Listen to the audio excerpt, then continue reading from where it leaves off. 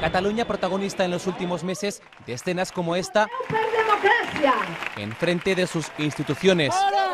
Un escenario que el ministro de Interior asegura que va a cambiar.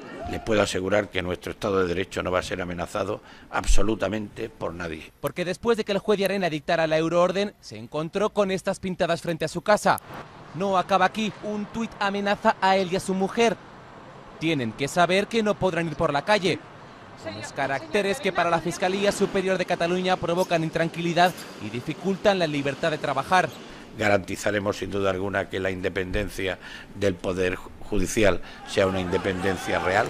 Con estas medidas se quiere evitar imágenes como esta, del 30 de enero antes de un pleno de investidura, un parque de la Ciutadella tomado por las manifestantes. Pero además de los fiscales, serán también los diputados los que reciban protección oficial para poder trabajar.